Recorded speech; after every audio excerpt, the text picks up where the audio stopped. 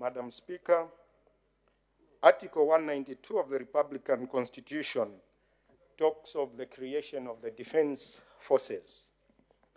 Madam Speaker, Clause B, 192B, it talks of foster harmony and understanding between the Zambian Army, Zambia Air Force, auxiliary unit, members of society. If we go to C, Madam Speaker, cooperate with state organs and state institutions in times of public emergencies and national disaster. Madam Speaker, over the weekend, we saw on different news tabloids that the provincial minister for Southern Province flagged off the usage of military trucks and our men in uniform to distribute or transport maize and fertilizer. Madam Speaker,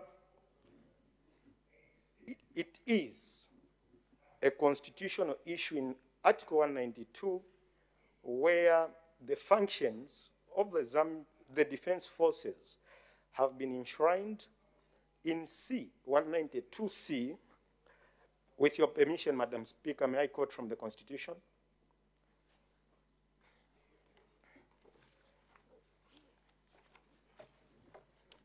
Madam Speaker, Article 192C, cooperate with state organs and state institutions in times of public emergencies and national disaster.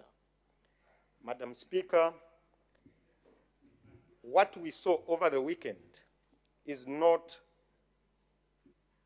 during a period of public emergencies, and it is not during a period of national disaster.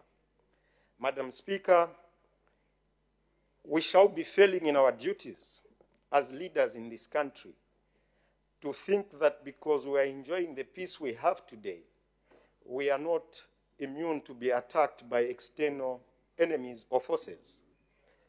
Madam Speaker, what will happen if at all Zambia is under attack from external forces and we're unable to deploy our defense forces due to having wrecked vehicles or trucks that we've decided to use to transport